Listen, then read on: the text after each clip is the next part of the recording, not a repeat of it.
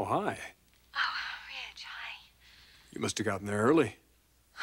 Yes, I did. I had to see if there'd been any changes. Is he awake? No, not yet. Well, look, I'm gonna be over there in a little while. We need to talk, Logan. Ridge, I'm all right. I'm not laying a lot of guilt on myself if that's what you're worried about. I'll see you when I get over there. Bye bye.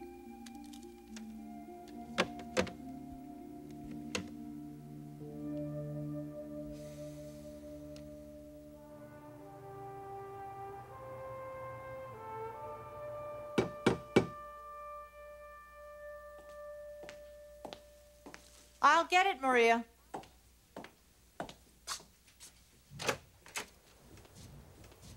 Hello, Stephanie. Well, Dr. Hayes, this is an early morning call, isn't it? I know, I'm sorry about that. I was looking for Ridge, and he doesn't seem to be at his house, so I thought he might be here. Oh, was he expecting you? No. I haven't seen him. Maybe he spent the night with Brooke. Well, I don't think so. She spent most of the night at the hospital. Have you spoken with her? No, I was there myself. I had a patient that needed some attention. May I come in? I was just on my way out. Would you like me to leave a note for Ridge? That's all right. Any particular reason you'd like me to tell him you dropped by? Mother, who's there? Taylor. Hi, Ridge. Well, now, this is a surprise. Yes, it is. Well, come on in.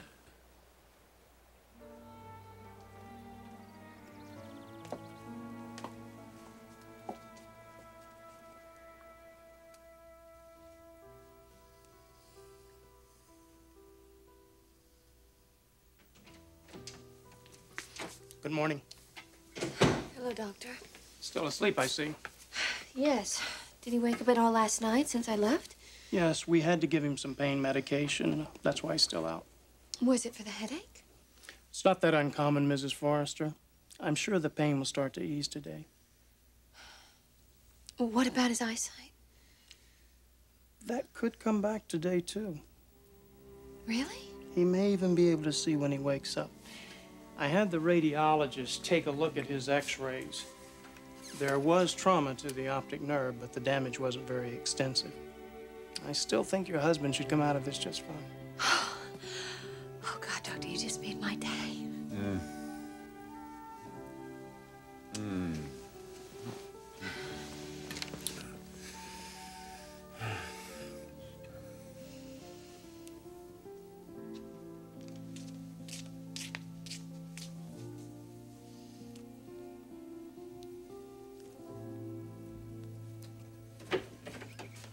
you're up. Great. Got some breakfast. Looks like you got dinner. I've got that too. Croissants, strawberries, and of course, the mandatory spring bouquet of flowers for the lady. Oh, Jake. Oh, they're lovely. Oh, they're so bright and fresh. Just like you.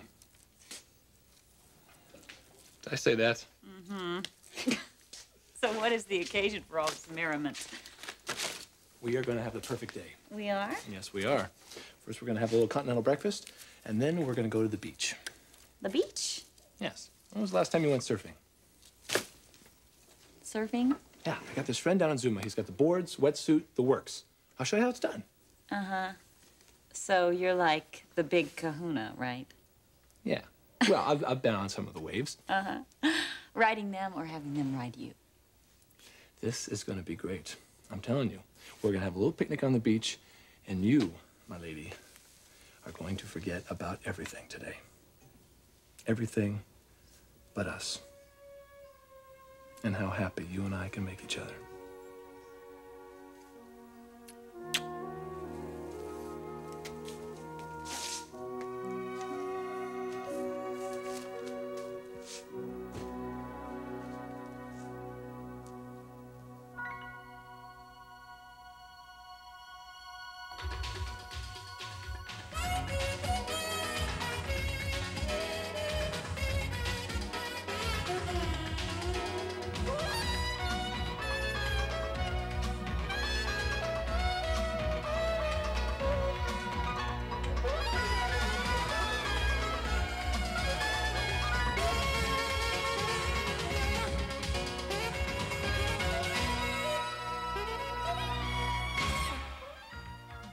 The bold and the beautiful.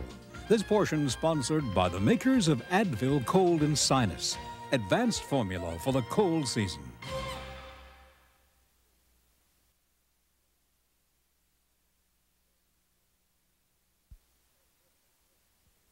Look at this. I even got some fancy coffee from one of those stands. Well, my, my. Mm-hmm. Here, grab a chair. Actually, what I'm going to have to grab is a rain check. What? I have an appointment with my attorney When? in about half an hour. I'm sorry. When's the appointment over? It may take a while. Well, that's all right. I'll wait. You will? Look, I want this day to be different. Fun. Okay, you deserve it. You need to take a break from all this.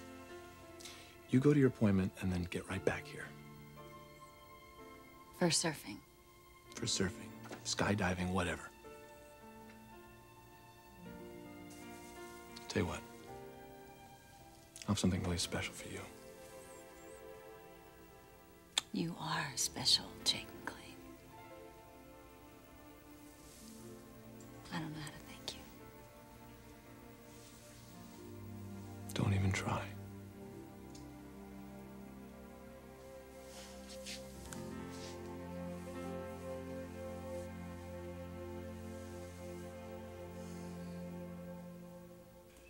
You're here to see Mother? No, I'm here to see you. Oh, well, sorry about that, Mother. Oh, that's all right. I was just leaving. Are you going to go to the hospital later? Yeah, I'll be there. Good. I'll tell Brooke when I see her at the office. I'm on my way there now. Goodbye, Doctor. Goodbye, Stephanie. She never misses an opportunity to zing it to me. Yeah, well, that is Mother. Yeah, I know. I know that she would like me right out of your life. And that's her problem, though, isn't it? Well, anyway, you got me curious. What brings you by here?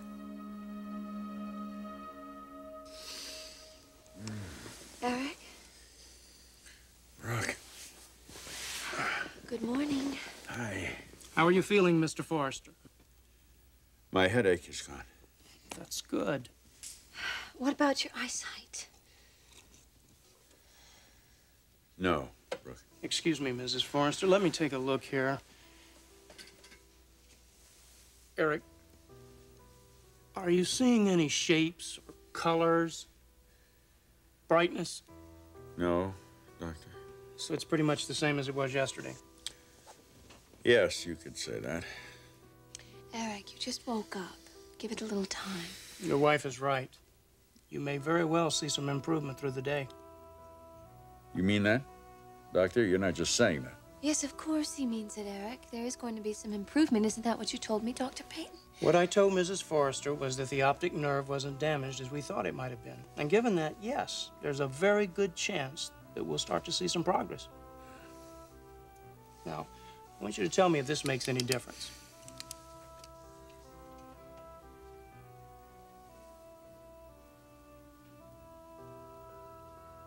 Do that again, Doctor.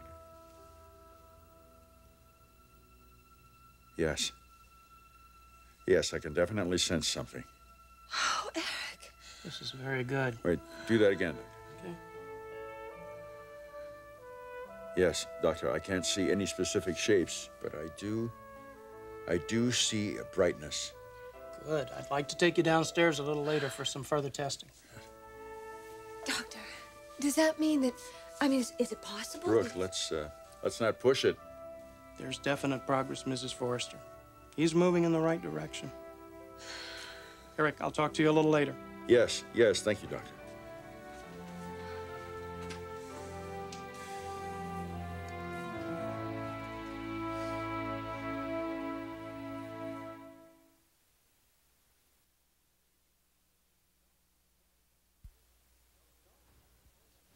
No, Dad, don't worry about it. I'll take care of everything. Are you sure you're gonna be okay? Yeah, well, I'll stop by the hospital later. I, I hope you're out of there by then, too. Okay, I'll talk to you later. Damn. I was just coming here to tell you about this. Have you seen him? Yes, I was there last night. And it, it's just a mild concussion, nothing else. What did he say to you? Is there more? Well, I, I haven't been over to see him today. Come on, Mother, what is it? I want to know. As of last night, there was a problem with his vision. With his vision? Was it blurred or what? Well, obviously, he didn't want you to be concerned about it, so in all probability, it went away overnight. He, he seemed pretty confident that he was going to get out of there soon. I'm sure he's going to be fine. And one thing I know, he's counting on you taking care of everything over here for him. Well, that shouldn't be a problem. I've been spending most nights here anyway. Oh, you're not seeing Macy, I take it. No, I've seen her. When? The other day. Over at Jake's place.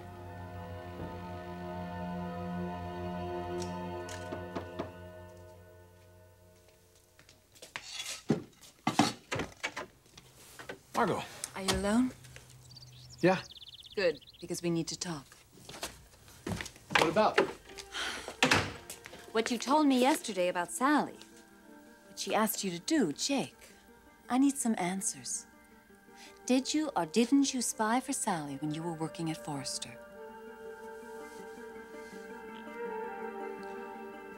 To tell you the truth, I'm a little surprised myself I came by. So why did you? Well, when I saw you at the hospital yesterday, you were kind of at loose ends and you looked like you needed someone to talk to. Yeah, I do. I guess I'm feeling partly responsible for what happened to Dad. Is that going to make him get better any faster? No? Is it going to help you in any way? No? What about Brooke? Will it help her? Of course not. You can see where I'm heading. Feeling guilty isn't going to help anyone. Why waste energy on it? You've got it. Okay, thanks, Doc. I'll keep that in mind. Now, I did want to ask you about something else. Yeah, what's that? You had mentioned being very impressed by seeing your father, Brooke, and the baby, and the way they related to each other as a family. And I asked you how you felt about that. But you didn't get a chance to answer me. It's causing me some conflict. About your feelings for Brooke? About my feelings for Dad. Would you mind explaining that to me? When I was over there the other night, watching the three of them together. I mean, Dad's such an incredible parent. He. I guess it's because he's had so much practice at it. But to watch him relating to his son and to Brooke. You know, he's the king of that house. He's so in control. He draws out his son, draws out Brooke. Son loves it too. So does Brooke. It means so much to Dad. Guess what I'm trying to say is they're really a family when they're together like that. They really are. So, what are you going to do about that? What am I gonna do about it? Taylor Brooks the one that doesn't want that marriage. Are you absolutely certain of that?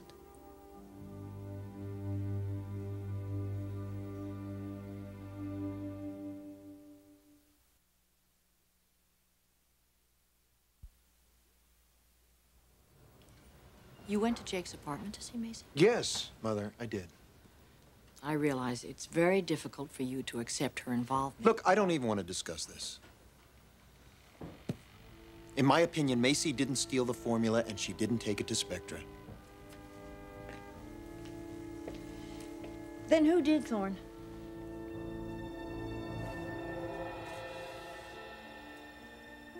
You know, Margo, that really gets me that you'd come over here and ask me that question.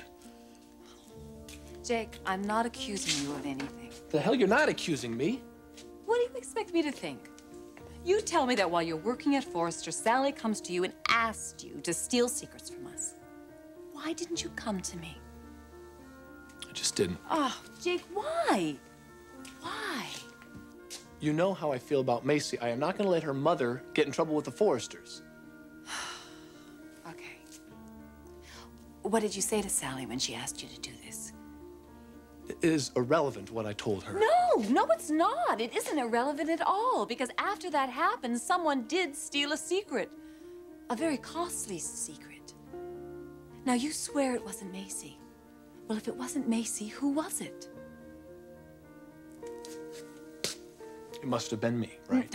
Jake, no. No, that is not what I'm saying. But if it wasn't Macy, it was someone. And if people start looking for that someone and they hear about your conversation with Sally, Jake, have you told anyone else? No. Well, don't. For God's sakes, don't. Listen, I, I have to get to work. Margo. Never did say. Do you think I stole the formula from Forrester? No.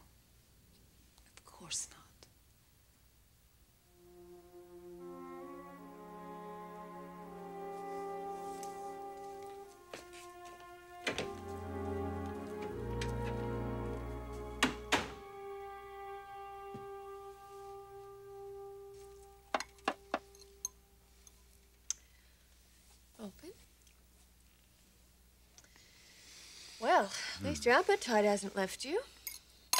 Brooke, I feel fine. I really do. And you're going to be fine, Eric. I know I am. I don't want you worrying about me, all right? Now, who said I was worrying? The nurse told me you were here the better part of the night. Well, that doesn't mean I was worrying. Well, and that you were back here early this morning, even before I woke up. What am I supposed to think? I'm concerned, Eric. I'm telling you, you don't have to be.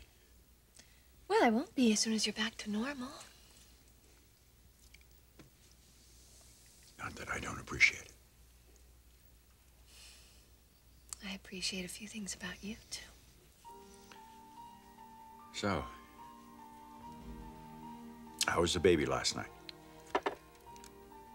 Well, he was so exhausted from all the excitement that he fell right to sleep. Well, I just hope he's not too upset when he wakes up this morning and finds neither one of us there. Well, somehow, I don't think that problem's as significant today. No, it doesn't seem like it, does it? Eric, when I think of what you did, Brooke, he's our son. I wasn't about to let him get hurt. Could have been killed when that display case fell on him.